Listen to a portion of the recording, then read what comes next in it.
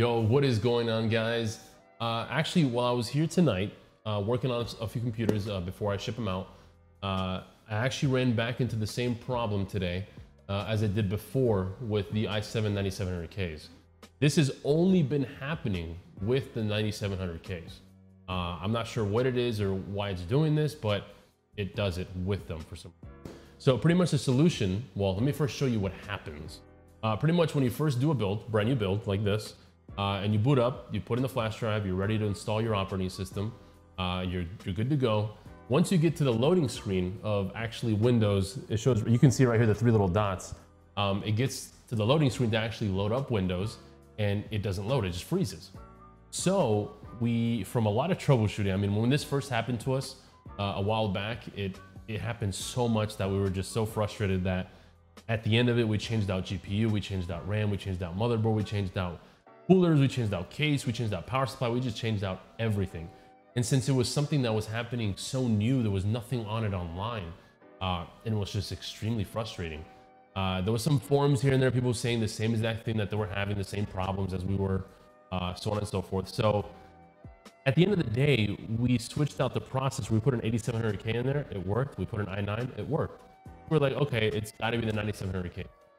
Well, we all the 9700Ks. Uh, I got a, I switched out, the, I switched them out for an 8700K. Talked to the clients, they said that was okay.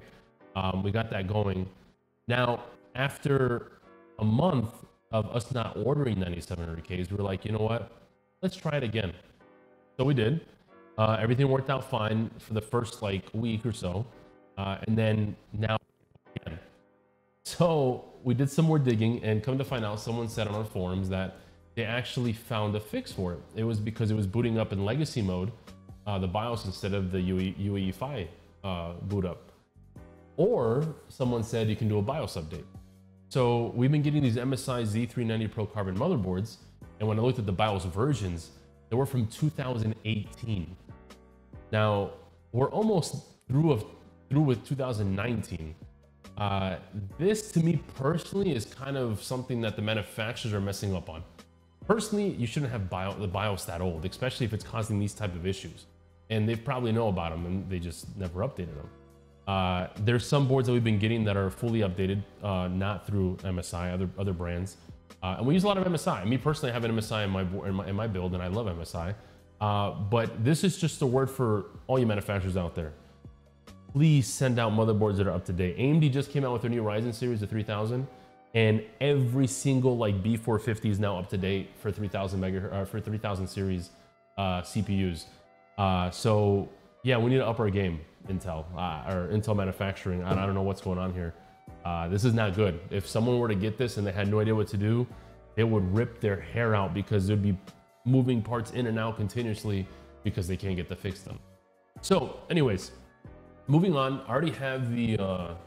Ahead, we're gonna turn this off real quick. I already have the actual uh, BIOS file on this uh, flash drive with the OS. I went ahead and put it on here because we use this to um, install Windows on a lot of the builds.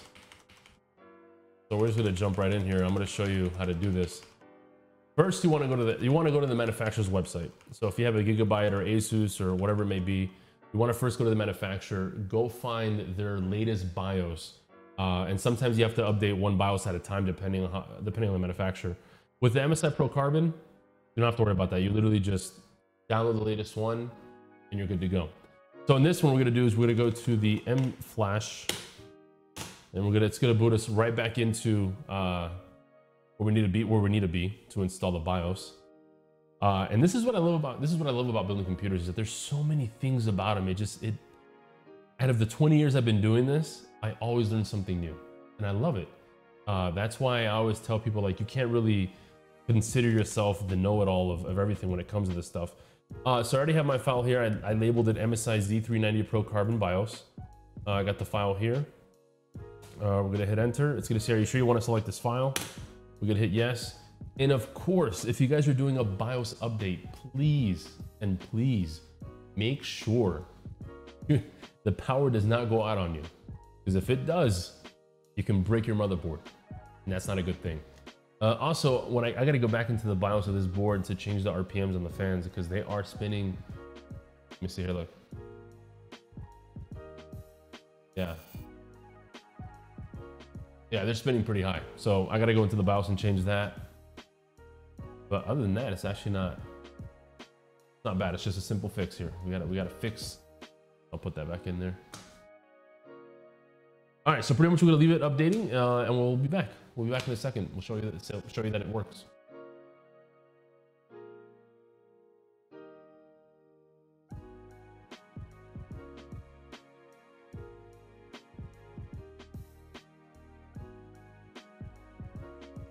All right, now that we actually have uh, the BIOS installed, it's gonna go ahead and do a, a reset real quick. And then once it restarts, see there he goes. We got the image of the MSI logo going up. And then now we should be able to get past where it freezes or where it was freezing. Let's see here.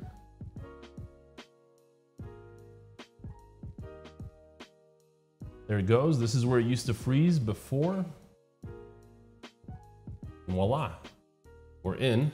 So let's go ahead and real quick. We're not gonna put in the, uh, not gonna put in the key because we don't want you guys to see. We're gonna put, I don't have a key. Pro. And there we go. It's booting. It's perfectly fine. Hit accept.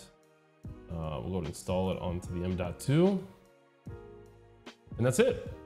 So now it's actually gonna complete the full installation uh, without it freezing on you. That's literally the fix. Literally the, the simple fix. So make sure your BIOS is up to date. That's it. Or just like I said, just go to the go to the manufacturer's website and download the latest BIOS, and that will fix your issue. And like I said, so far all we've experienced this issue is with 9700Ks. Been about eight of them so far. Uh, haven't had any issues with i9s or 8700Ks, but if you do run into this problem, this is gonna be your solution. That's pretty much it guys. I hope you guys enjoyed this video. Make sure to like it, make sure to subscribe. I have a lot more tips and tricks coming at you. Um, well, as much as I can because we've been busy here at Power GPU.